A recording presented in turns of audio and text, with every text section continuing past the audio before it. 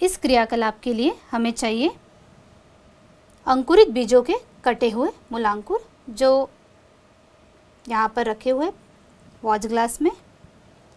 इसे सबसे पहले हम एक स्लाइड पर लेते हैं।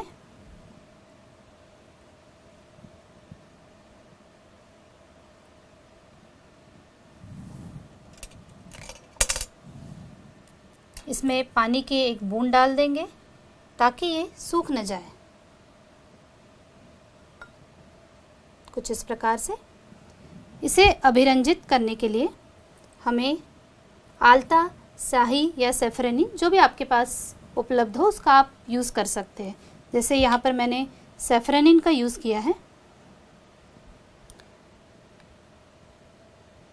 ताकि हमको कोशिकाएँ रंगीन दिखाई दे, इसके लिए हम इसको सेफ्रेनिन से अभिरंजित करते हैं।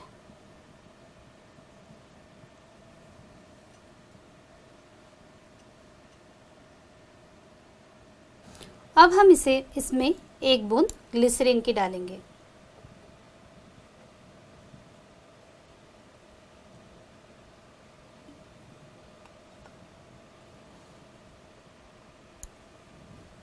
अब इसे निडल की सहायता से कवर स्लिप से ढक देंगे।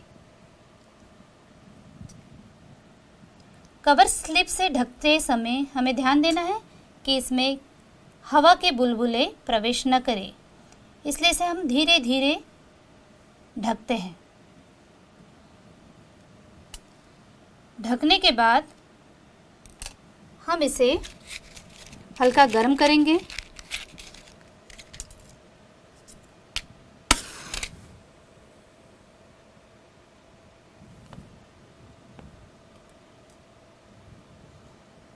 कुछ इस तरीके से हम इसे हल्का सा गर्म करेंगे। ये हल्की गर्म हो चुकी है। अब इसे हम हटा देते हैं और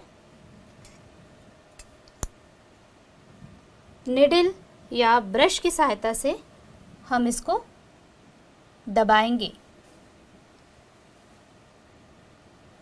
कवर स्लिप के बाहर निकले हुए सेफ्रेनिन को हम ब्लॉटिंग पेपर की सहायता से पोस, पोछ लेते हैं।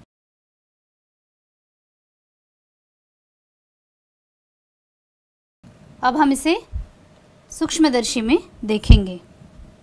इसमें कोशिकाओं का अवलोकन करेंगे कि मूलांकुरों की कोशिकाएँ हमको किस प्रकार से दिखाई दे रही हैं। पौधों की वृद्धि के लिए जो कोशिकाएँ आवश्यक होती हैं, वो मूलांकुरों के शीर्ष भाग पर उपस्थित होती है, जिसे हमने स्लाइड में देखा।